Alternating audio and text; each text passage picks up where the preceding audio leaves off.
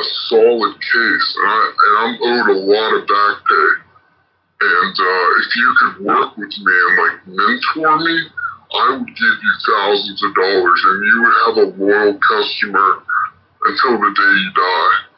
Dollars, and you would have a loyal customer until the day you die. Like I would, I would be loyal to you until the day I die. Like I would always, you'd have steady money coming in with me. But I was worried.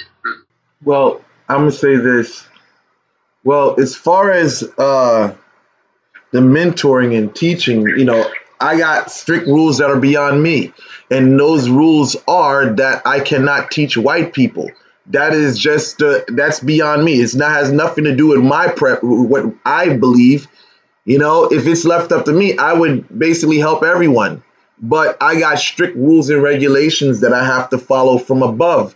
You know, this thing has been before me.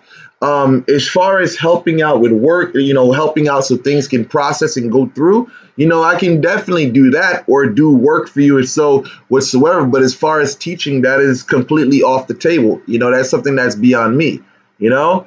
But uh, as far as the helping situation, um, you know, with getting going through of that, I could possibly do that for you.